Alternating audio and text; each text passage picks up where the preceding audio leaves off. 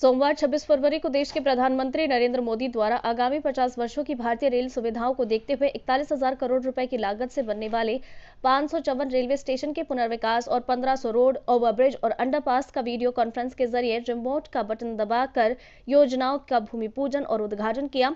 साथ ही पूर्वोत्तर रेलवे के इज्जतनगर मंडल पर अमृत भारत स्टेशन योजना के अंतर्गत Bareilly city, Kashipur junction, Tanakpur, Pilibhit junction, Kannauj और कोटद्वार रेलवे स्टेशन के पुनर्विकास का शिलान्यास किया गया। वहीं अमृत भारत रेलवे योजना के अंतर्गत दीप प्रज्वलित कर काशीपुर के रेलवे स्टेशन का पूर्व विधायक हरभजन सिंह चीमा वरिष्ठ भाजपा नेता दीपक वाली, भाजपा के जिलाध्यक्ष गुंजन सुखीजा पूर्व सांसद केसी सिंह बाबा के द्वारा शिलान्यास किया गया।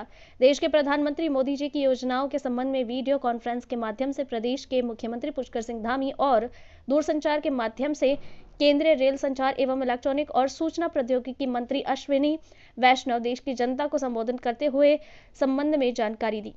नव भारत समाचार से कुंदन शर्मा की रिपोर्ट।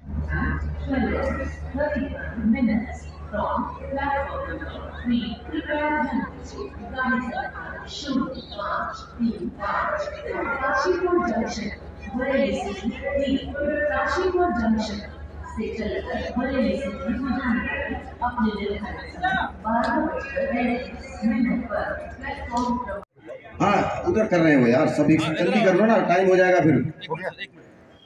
विधायक जी का। निखिल सक्सेना जी। और मैं तुझको बुलाए रे वो सांप मेरे उत्तराखंड में